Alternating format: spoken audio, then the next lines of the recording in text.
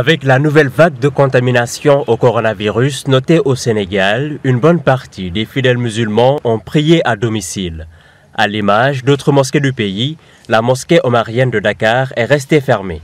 À Yumbel Ben Barak, dans la banlieue de la capitale, ces deux voisins mettent tout en commun et célèbrent ensemble depuis trois ans maintenant l'Aïd el-Kébir, communément appelé Tabaski au Sénégal. On, égorge nos moutons ensemble, on travaille ensemble, celui qui termine, il va aider l'autre. Et en principe, tout le monde quitte euh, les, les lieux en même temps. Et c'est la tradition. Nous suivons les recommandations divines, c'est-à-dire le partage.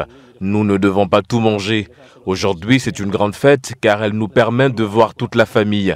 Elle est réunie aujourd'hui et c'est une bonne chose. Le partage de la viande de tabaski avec les personnes démunies et les voisins chrétiens, c'est une tradition bien ancrée au Sénégal.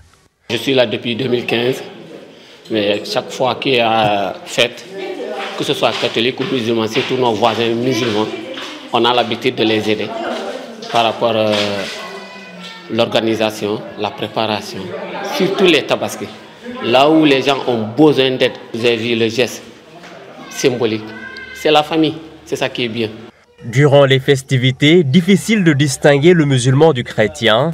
Tous s'unissent et ne font qu'un, un symbole fort du dialogue interreligieux dans le pays.